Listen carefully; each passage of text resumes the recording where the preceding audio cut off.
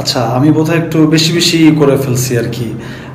মানুষজন আমার উপর খুব ক্ষিপ্ত অবস্থায় আছেন, এজন্য আমি আন্তরিকভাবে ক্ষমা প্রার্থী এবং দুঃখিত।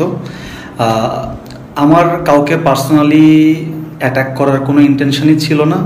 সম্পূর্ণরূপে আমি আমার যা করেছি, সম্পূর্ণরূপে আমি আমার গানের প্রমোশনের জন্য করেছিলাম। গানের নাম তামাশা।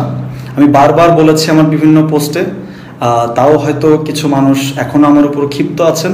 আশা করি আপনারা আমাকে ক্ষমা সুন্দর দৃষ্টিতে দেখবেন এবং আশা করি কালকে আপনারা খুব সুন্দর ফ্যামিলির সঙ্গে খুব সুন্দর এবং আনন্দময় একটি ঈদ কাটাবেন। আবারও ঈদের অগ্রিম শুভেচ্ছা ধন্যবাদ এবং আবারও বলছি, আমাকে ক্ষমা করবেন, প্লিজ। থ্যাংক ইউ অবশেষে ক্ষমা চাইলেন সারেগামাপা খ্যাত নোবেল।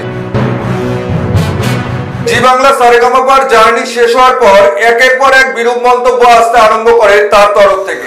অথচ সারেগামাপায় থাকাকালীন তিনি বলেছিলেন যে, বাংলাদেশের বড় বড় প্ল্যাটফর্ম এবং গুণীজনেরা তার গানকে কোনোভাবেই প্রাধান্য দেননি। আর জি বাংলা তাকে অনেকটাই বড় সম্মান দিয়েছেন, নোবেল নোবেল হয়ে উঠেছেন। কিন্তু সেই নোবেলই আজ ভারতবর্ষের জন্য নোবেল করোনা ভাইরাসে পরিণত হয়েছে। বিশ্বস্ত সূত্রে জানা যায় নোবেল জানান যে বারংবার গোল্ডেন গিটার পেয়েছি আমি। অতএব জি বাংলার সারেগামাপার তাসটি আমার মাথায় ওঠার কথা ছিল। কিন্তু ষড়যন্ত্র মাফিক আমাকে দেওয়া হয়নি। আমাকে একেবারে লাস্ট করা হয়েছে। ঠিক সেই জায়গা থেকে বাংলাদেশের বহু দর্শকও এই ধরনের মন্তব্য করে থাকেন। যদিও নোবেলের গান ফাইনালের দিনে সেইভাবে জনপ্রিয়তা পায়নি কিন্তু নোবেল সেই ভুলটি কখনোই মানতে রাজি নয়। তিনি বলেন যে অনেক বড় বড় কবি রয়েছে বাংলাদেশে তাদের তৈরি সঙ্গীতই দেশের সংগীত হওয়া উচিত। রবীন্দ্রনাথ ঠাকুরের লেখা সংগীত কেন আমাদের দেশের জাতীয় সংগীত হবে? এই প্রশ্নের পর ভারতবর্ষে নোবেলের জনপ্রিয়তা অনেকটাই হ্রাস পায়। তারপর তিনি বলেন, আমি শুয়ে বসে কিছু লিখলেই নিউজ হয়ে যাচ্ছে। একই সঙ্গে বলেন লেজেন্ডের দু হাজার কুড়ি সালে কি করে মিউজিক তৈরি করতে হয় আমি শেখাবো? এখানেই ক্ষান্ত না হয়ে এবার নোবেল চলে আসলেন ভারতবর্ষের প্রধানমন্ত্রীর দিকে। তিনি বলেন যে চাওয়ালা প্রধানমন্ত্রী, তাকে নিয়ে কি স্ক্যান্ডেল হবে? কোনো মতেই না, স্ক্যান্ডেল হবে আমাকে নিয়ে।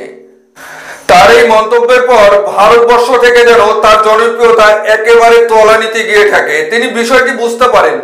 তড়িঘড়ি ক্ষমা চাইতে চলে আসেন, কিন্তু তার ক্ষমা চাওয়ার ধরন যেন অত্যন্ত কঠিন।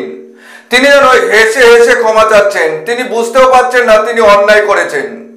তো সেই জায়গা থেকে এই ক্ষমা চাওয়া যেন কোনোভাবে মেনে নেওয়া যাচ্ছে না। তবুও জি বাংলা সারেগামাপা রিপিট টেলিকাস্টে বারংবার নোবেলকে দেখানো হচ্ছে। ঠিক সেই জায়গা থেকে প্রশ্ন উঠছে সাধারণ মানুষ ভারতবর্ষে নোবেলকে কি নিষিদ্ধ করা উচিত?